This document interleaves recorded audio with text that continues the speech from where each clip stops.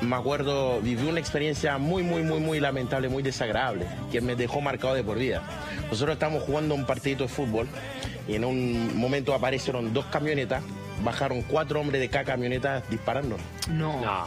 Sí, y falleció mi mejor amigo en eso. Wow. Y de ahí fue que le dije a mi mamá, yo, yo abandono ese país, o si no, yo, como sea, voy a salir. ¿Y por qué Chile? Eh, Chile, un amigo mío trabajaba en la aduana Ya.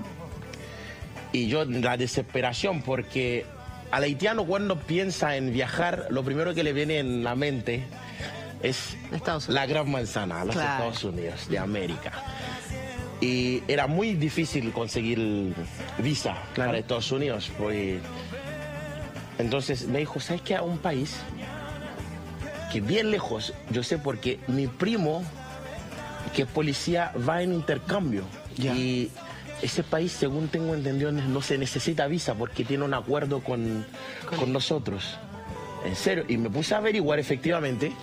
Y era Chile. Y ¿Qué edad tenías, perdón? yo tenía en ese momento 16 años. Perfecto. Uy, sí, un niño. Sí. Yo me vine a Chile a los 17 años. A los 17 años. Sí, solo.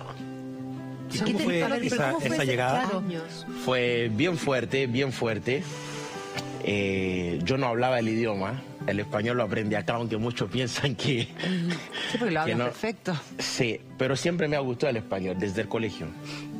Y yo lo pasé muy mal en un comienzo, muy mal, porque una cultura muy diferente y yo quise estudiar, me fue, me fue muy costoso, muy difícil. Pero Pude estudiar una solamente pregunta. ¿Tú llegaste a. Chile solo, sin ningún contacto, sin ningún amigo, No, sin nada, no nada? O sea, conocía a nadie aquí, nada, ¿Llegaste nada. al aeropuerto? ¿Qué hiciste? De hecho, bueno, Buena pregunta. Sí. hasta el momento, yo me acuerdo, mi avión aterrizó a las 3 a.m.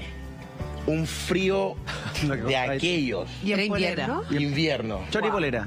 abrir, llegué con una, poler- una camiseta blanca que es típico que usamos nosotros y una una camisa abierta, un jean blanco y me acuerdo, salí cuando agarré mi bolso porque tenía un bolso que tenía dos pantalones y un par de camisas, más nada, pero repleto de sueños. ¿Y qué Y hiciste? salí y me pegó el frío. Oh, y volví a entrar. Y veía a todo el mundo, le esperaba a su familia, todo el mundo se abrazaba, esa gente salía. Y yo estuve una hora y media parado en el aeropuerto. No sabía dónde irme, no sabía nada, nada, nada. O sea que un señor que me había visto adentro, que era policía, ¿Ya? y se acercó y me dijo, ¿todavía estás aquí? Me habla en inglés. Y yo le dije, sí, me dijo, pero no te espera nadie. "Eh, no.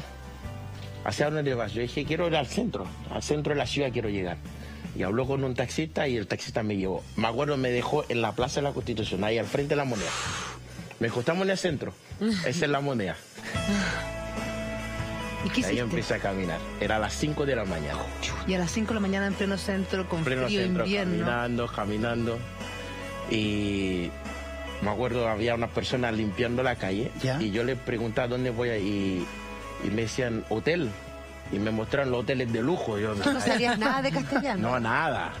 Y me acuerdo, entré a un hotel que está ahí cerca de la moneda.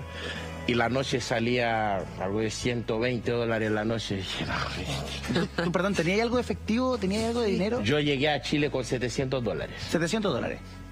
Eso era todo lo que tenías. Todo mi capital. ¿Y tu, ¿Y tu pasaje cómo lo conseguiste? eh, trabajando.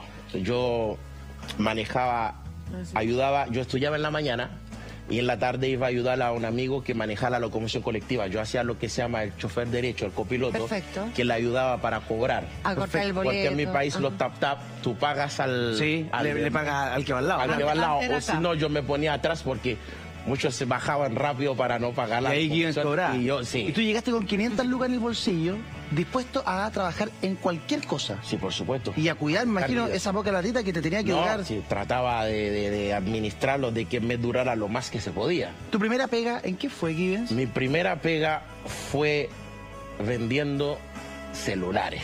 Celulares. ¿Y cómo lo Sí, conseguiste? señor. Yo me acuerdo, estuve como dos semanas buscando trabajo, caminando todos los días, hasta que un señor que hasta el- todavía me acuerdo su nombre, que seguimos siendo amigos, ¿Amigos? Teobaldo Díaz, que le mando un gran abrazo, Ah. mi primer jefe. Y él era judoka. Ya, y él había competido en las Panamericanas y tenía un compañero de cuarto que era haitiano. perfecto. No te puedo creer. Sí. ¿Y cómo lo fue, conociste? fue por eso, me vio en la, en, en la sala de espera y le llamó la atención porque en ese tiempo Sí, po. El Nietzsche en Chile era, pero... Ser Nietzsche. Un blanco perfecto en la nieve. Claro. Te detectaban, pero a kilómetros. Sí, no, fue, fue, fue Sí, muy los, extraño niños, para los niños te miraban, me imagino. en la- No, en la calle, yo me acuerdo cuando yo buscaba trabajo, yo caminaba, la gente se acercaba como... ¿En Claro. serio? O, o me piñiscaban y hacían... Mentira. No, me Sí, estás ¿en lesbia. Puede ser No. cobrado por eso, unos 100 pesos por último.